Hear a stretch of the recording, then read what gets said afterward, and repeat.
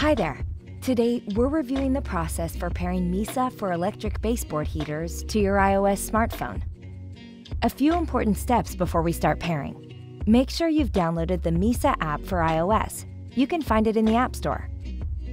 Ensure that Mysa is correctly wired into your baseboard heating system and is powered up. Watch our full installation video for help. Seeing an error code on Mysa's display?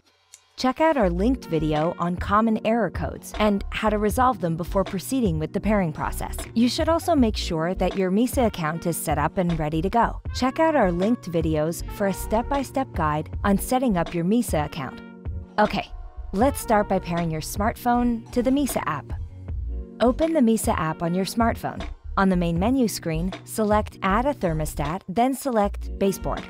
You'll need to enable precise location on your iOS device to pair Mysa. You'll see a checklist of things you need to do to ensure a smooth pairing experience. First, make sure that your Mysa is powered up and that you're standing near the thermostat. Second, that you have the Mysa welcome booklet close to hand. Third, that you know your Wi Fi network's name and password. And fourth, that you're connected to a 2.4 gigahertz Wi Fi network. This is very important to your Mysa's functionality. Next, confirm that your Mysa is in pairing mode. You should see the downward pointing triangle on the Mysa's display. If not, press and hold the up and down arrows on your Mysa's faceplate simultaneously to enter pairing mode. Next, select your preferred pairing method. In this video, we're covering Apple HomeKit pairing. If you'd prefer a non-HomeKit pairing method, check out the linked article for more information. Select Apple HomeKit pairing. Select the home to which you'll be adding your Mysa.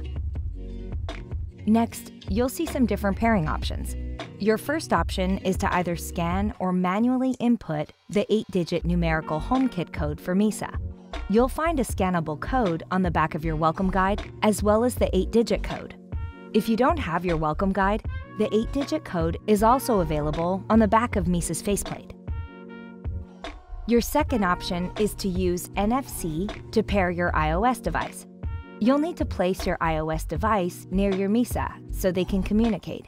Remember, NFC pairing is only available with Mysa for baseboards V2. If you are installing Mysa for baseboards V1, you'll need to use your 8-digit HomeKit code. Tap Next. Follow the instructions on the Add Accessory screen. When prompted, add your Mysa to your preferred room and give your Mysa a unique name.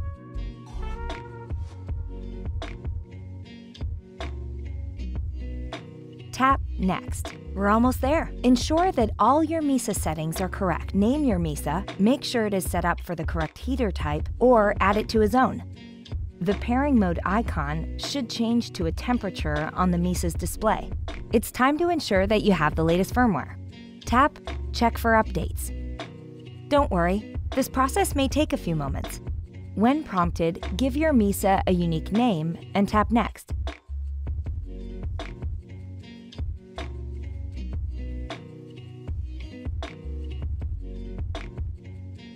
Success! You've paired your Mysa for electric baseboard heaters. Get ready to enjoy 24 7 control, comfort, and better home energy savings. If you're installing multiple Mysas, repeat the steps in this video for each of your Mysa devices. Have questions or need help? Connect with our team of support experts. We're here for you. Thanks for watching this video, and we hope you found it useful. Subscribe to the YouTube channel for more helpful Mysa Academy content. Stay cozy.